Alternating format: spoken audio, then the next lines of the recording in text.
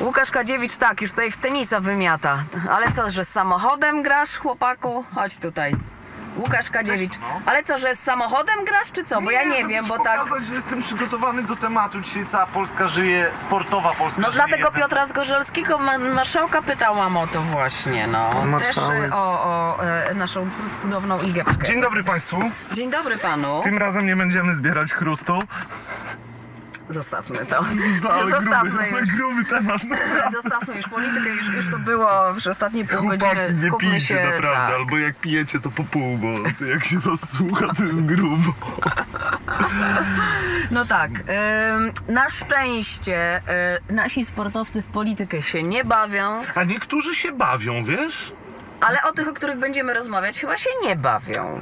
E, ale Iga miałaby potencjał. No było wielu. Mamy teraz po stronie opozycji byłego świetnego siatkarza, prezesa byłego Polskiego Związku no Piłki Siatkowej, no Pawła wiesz, co ona Papkę. będzie robić za 20 lat czy za 30 Ja się to wiesz. zastanawiam, co właśnie ona i Lewy będą robili. Mhm. Bo to jest taki potencjał, że Wiesz co, ja myślę, że ona jest tak dobrze kierowana i tak ma fajnie poukładane w głowie i, i to będzie szło pewnie w dobrym kierunku, że, że albo zostanie jakimś trenerem, albo będzie w coś inwestować. No jak chyba Sądzisz? większość sportowców. mi się bardzo podobała e, ta fala gratulacji z całego świata, która popłynęła po sukcesie Igi i Mhm. Lindsay von e, Alpejka, świetna, napisała wielkie gratulacje, znajdź czas na zabawę, na celebrację, na świętowanie. I ja nie to, że się obawiam, bo tak jak powiedziałaś, jest sztab ludzi, które pilnuje Igę, ale ja bym chciał, żeby Iga nie, nie, nie weszła w taki stan lewitacji, tylko żeby cały czas pamiętała, że jest młodą dziewczyną, która osiągnęła sukces, a ten sukces wypracowała ciężką pracą i normalnością. Znaczy moim zdaniem ona bardzo szybko dojrzewa, bo e, podczas tego wystąpienia już e, po, po finale, e, podczas tego swojego przemówienia zwróciła się do swojej konkurentki Cori, tak, czy Coco Gauff i powiedziała jej, że ty masz dopiero 18 lat, że jak ona miała 18 lat, to ona tak naprawdę nie wiedziała, co robi i o co chodzi, a ma, nie wiem, zaledwie 3 lata więcej, prawda? Tak. I że ta droga, widać, jak ona bardzo się zmieniła, jak ona bardzo dojrzała, jak ona ma świadomość tego, co robi. I mam wrażenie, że właśnie ci ludzie, którzy są wokół niej, dbają o to, żeby ona wszystko miała poukładane w tej głowie. Tak, no bo dzisiaj mówimy o osobie, która jest perfekcyjna, nawet dotykając takich ym, trenerów, którzy bardzo mocno trzymają się standardów klasyki, nie lubią szaleństwa, nie lubią takich agresywnych, nietuzinkowych akcji, ryzyka podejmowanego na koncie, na korcie. Oni nie potrafią e, w tym amplua sportowym i znaleźć słabych rzeczy. Tak. To jest takie. e, Wszystko, co czytamy, jest jednym wielkim takim słodkim pomnikiem, e, cukrowaniem. No bo faktycznie mówimy o. chyba o fenomenie, bo tak powoli powinniśmy rozpatrywać e, Tak, tak, tak, tak. osobę naszej młodej Tak, też, sportsmenki. też gdzieś słyszałam, czy czytałam jakieś komentarze, że, że, że może za wcześnie mówić, że, że to już jest y, legenda, ale to, co ona wyczynia, jeśli będzie szła konsekwentnie tą drogą, to myślę, że to jest godna następczyni chociażby sióstr Williams. Tak, ale to jest troszeczkę inny profil. Moim zdaniem Mhm. e, siostry Williams miały to do siebie, że w tym czasie, nie wiem, była mm, Szarapowa, była nasza Agnieszka Radwańska. Ta Tak. konkurencja była, nie wiem, czy trochę większa, bo nie chciałbym tutaj uchodzić za specjalistę od tenisa. Po prostu Iga idealnie wkomponowała się ze swoim stylem gry, mentalem, przygotowaniem fizycznym, tym, czego tenis oczekuje, bo my mówimy o finale w Paryżu, w którym przegrywa cztery gemy. Ona się nie tłucze trzy godziny, powiedzmy. E, tam nie ma ostrych wymian, tam jest dominacja. A możemy podyskutować, poszukać słabych punktów, ale my mówimy o Idze, która wychodzi i w finale jednej z największych tenisowych imprez świata dominuje, w pełni kontroluje wydarzenia na korcie, to to jest ym, takie no rzadko spotykany w polskim sporcie, bo nawet Robert Lewandowski, e, który był, obserwował. I mina Igi bezcenna, no, ale widziałem, To zdjęcie jest, po prostu jest genialne. To jest- ona... Dokładnie, fenomen. Wielka mistrzyni patrzy na gościa i ja bym chciał, żeby ona zagrała stary. Tym razem to ja wygram plebiscyt na najlepszego sportowca przeglądu sportowego. To ja zostanę sportowcem roku. I to jest e, moim zdaniem bardzo dużo podtekstów, ale to tylko pokazuje, że no, że Iga jest w tym momencie poza zasięgiem i trochę już oklepane w e, takie zdania, ale największym wrogim przeciwnikiem Igi może być ona sama. czyli utrzymanie tego poziomu będzie dla niej kluczowe i w tym wypadku już nie mówmy o fizyce, o, o tych y, niuansach technicznych czy taktycznych przygotowujących do, do poszczególnych gier, tylko o tym, jak ta głowa będzie pracowała, bo to głowa jest No tak, najważniejsza. ale to przygotowanie fizyczne i też takie komentarze czytałam, że, te tenisistki, które wychodziły y, te- też teoretycznie przygotowane na spotkanie z nią, to jak stawały już na korcie, to, to, to tam jakiś paraliż się pojawiał, bo po prostu ona miażdży te przeciwniczki, tak? Ona po prostu je miażdży i też kondycją fizyczną, więc to jest przygotowanie na każdej płaszczyźnie, tak jak mówię, że to jest y, ta, y, to przygotowanie fizyczne, y, to, psygo- to przygotowanie właśnie psychiczne przede wszystkim. Także są momenty i to widać było nieraz, że ona się denerwuje na tym korcie, że coś idzie nie po jej myśli, ale jeżeli złapie swój rytm, no to no, To jest właśnie to, jeżeli złapie swój rytm, to mówimy o takiej mistrzowskiej serii. Tak. Wrócę do Roberta Lewandowskiego, który bardzo rzadko zacina się, nie strzela bramek w trzech, czterech, pięciu, ośmiu spotkaniach. W momencie, kiedy ten topowy sportowiec przeżywa kryzys, a Iga ten kryzys musi rozwiązać sama ze sobą. Ona jest na korcie. Chwila przerwy, możesz poprosić o, o jakąś konsultację medyczną, możesz kątem oka spojrzeć w przerwie między setami na trenera, ale na dobrą sprawę zostajesz sama. I jeżeli przychodzą kryzysy, to jest bardzo duża umiejętność, żeby te narzędzia, które otrzymałeś, nauczyłeś się od swojego teamu, wykorzystać bezpośrednio, tak w praniu. Bo możemy pięknie teoretyzować wieczorem na konferencji, dzień przed meczem, opowiadać, jak to będzie wyglądało. Jak wychodzisz na kort centralny, pełny, telewizja, świadomość tego, że, że możesz dokonać wielkich rzeczy, to naprawdę trzeba mieć psychę z żelaza i ona wtedy nie może klęknąć. A później pojawia się normalność, bo ona trzyma puchar i sprawdza, czy w środku nie ma tiramisu. No to jest takie... E, Ale e, a propos tego teamu, no, nie da się ukryć, że to jest sztab ludzi, którzy pracują na, na, na ten e, jej sukces tak naprawdę i wbrew pozorom to jest praca zespołowa. Oczywiście, tak jak mówisz, na końcu jest ona sama ze sobą, ale e, z tymi wszystkimi nawykami, które wypracowała wokół e, e, i z ludźmi, którzy ją otaczają, prawda? Co to są za ludzie?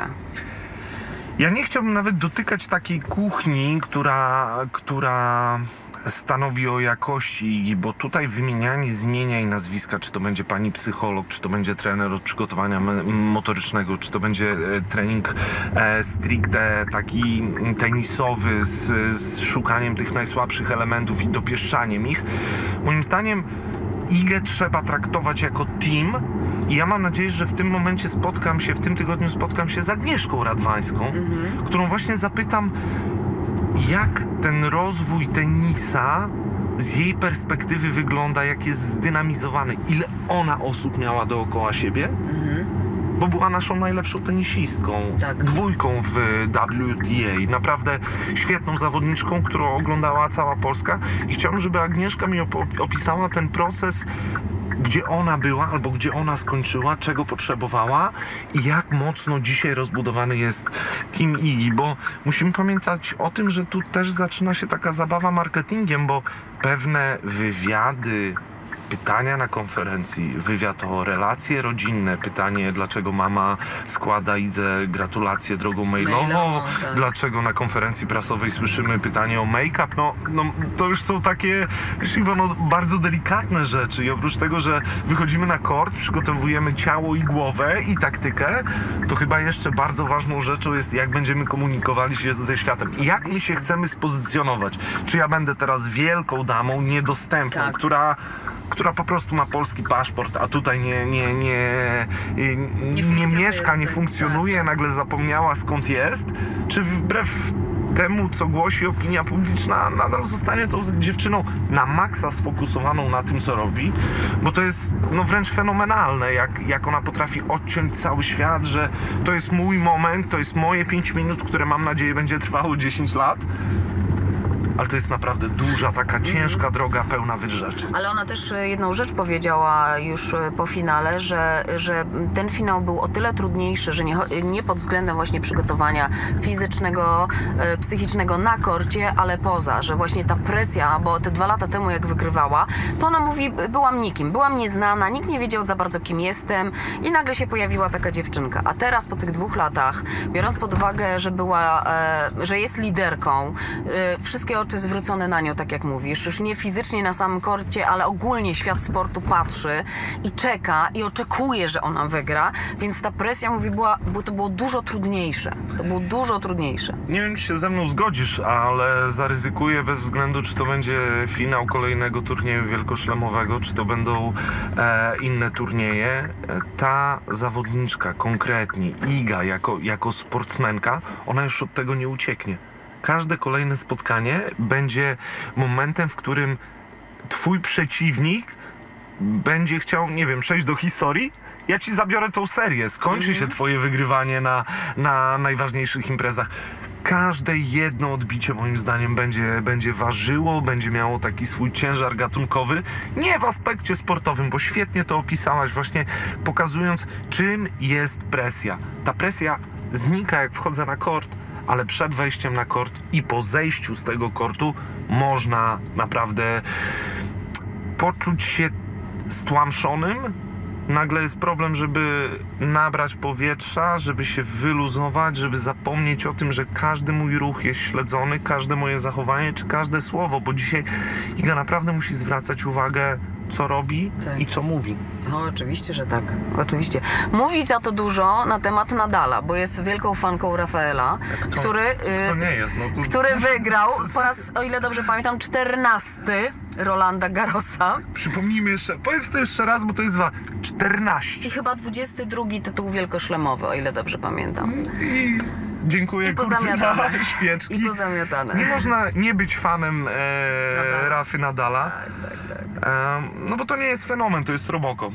Gość, który w pewnym momencie nie Ale miał... czy to już jest, czy on już dochodzi do granicy, w sensie, czy on już powoli... Nie, on ją przekroczył. Y, y, ale w sensie takiej, że granicy, że już koniec, że, że, że, że zaczyna, bo takie się pojawiają też głosy, że to może być jego ostatni taki finał i tak dalej, bo, bo może będzie chciał się wycofać. Czy, czy myślisz, że jeszcze za wcześnie, że nie ja ma takiej opcji? słyszałem koniec Federera, 10 lat y, kończono. Oni 10 Roger'a. lat kończą karierę. E, e, Dżokowicza to już nie wiem od ilu lat, y, albo palą go na stosie za jego poglądy, politykę, to jak się ustosunkowuje do takich bardzo ciężkich, pozasportowych tematów. E, tak samo nadal, no, ten człowiek w pewnym momencie nie miał kolan, on pełzał po korcie. E, pod kolanami to popularne mm, schorzenie kolano-skoczka, e, wiemy, że był krojony. O ilu operacjach wiemy, a o ilu ingerencjach chirurgicznych w jego kolana nie wiemy, a mimo wszystko ten człowiek się podnosi. A musimy pamiętać o, na, o nawierzchni. Naprawdę, pójście takim, powiedzmy, ślizgiem dwumetrowym i wykonaj takich 50 powtórzeń w ciągu 90 albo 120 minut, no moim zdaniem czworogłowe, dwugłowe to, to nie jest naprężone. Później musi zaparkować, w naszym wypadku w Warszawie, w Wiśle musiałby siedzieć dwa dni, żeby schłodzić nogi. Tak, to jest fenomen. Tutaj mówimy o ikonach takich jak, nie wiem, LeBron y, w koszykówce, czy Michael Jordan w koszykówce, czy, czy, czy mm, Leo Messi, czy Cristiano Ronaldo. To jest ten sam e, kaliber, bo no, no fenomen, nawet tutaj nie można mówić, tu trzeba obserwować i bić brawo. To jest chyba najlepszy komentarz. Zresztą właśnie na finale, e, na finale męskim, e, jaki oczywiście już wiemy doskonale Igi, pojawił się Robert Lewandowski, wspomniany przez nas kiedyś, to jeszcze na koniec chciałabym do niego wrócić i do jego e, zapowiedzi, decyzji, że ch chce zostawić Bayern i, i zmienić flagi. Co tutaj potencjalnie może się wydarzyć i jak myślisz, dlaczego taka, a nie inna decyzja? Bo on oczywiście było to pytane, za bardzo nie chciał mówić, co jest no, gdzieś tam naturalne, no bo to wszystko musi być w, w odpowiednim momencie zakomunikowane. Robert w Polsce z perspektywy Europy i świata przestał być tylko piłkarzem. On jest marką. Tutaj e, nie będę się wypowiadał w aspekcie sportowym, co by mu dało więcej przejście do Barcelony, pozostanie e, w mistrzu Niemiec, kontynuowanie swojej świetnej pasy króla strzelców w Bundeslidze, przejścia do historii, łamania kolejnych e, rekordów. To jest marka, która mm, moim zdaniem przygotowuje się do tego, co się wydarzy, jak skończy e, zawodowo grać w piłkę. Czy to będzie Barcelona, a Barcelona będzie takim taką platformą transferową, żeby po roku, dwóch albo trzech wylądować w Stanach Zjednoczonych? Nie wiem, nie znam tego planu. Zaskoczyło mnie jedno. Robert nigdy tak oficjalnie i agresywnie nie wypowiadał się na temat transferu. Na konferencji prasowej, niepytany, powiedział jasno: Moja historia w Niemczech dobiegła końca. Ja chcę transferu, ja będę na niego naciskał. E, ze sportowego aspektu e, trener Czesław Michniewicz powiedział jedną rzecz. O jednego zawodnika w reprezentacji jestem pewny, o Roberta Lewandowskiego. On zawsze będzie przygotowany, czy będzie chwilę przed transferem, w jego trakcie, czy po. Pojedzie do Katalonii i zostanie gwiazdą tego zespołu, więc o Roberta się nie martwimy i tutaj jak najmniej o sporcie, a w tym momencie możemy obserwować, co znaczy kreowanie wizerunku, szachy marketingowe. No bo to jest wielka gwiazda, tak samo jak Iga, oni są brandem. 9.50 misja futbol, Oczywiście, więc pewnie będzie o Lewandowskim. poniedziałek misja futbol, wtorek misja sport, no i generalnie Onet I o Sport, 20 przegląd ja tylko powiem, e, w podcaście wojewódzki kędzierski u nas Robert Lewandowski dzisiaj też. Czyli sport dominuje Onet. No tu wiesz, takie tematy się dzieje, no to wiesz, chłopaki wezmą. Fajne, że jesteśmy w stanie Co? to oglądać na mobilu, słuchawki i... E, No i już. nie no, zbieranie chrustu. O Jezu. Nie mogę tak tego dalej. odpuścić, no. Idź Patologii- już, idź. Pójdę, pójdę, jadę, do, jadę dalej. Jedź dalej. Miłego dnia. Również. Do zobaczenia. Łukasz dzięki serdeczne.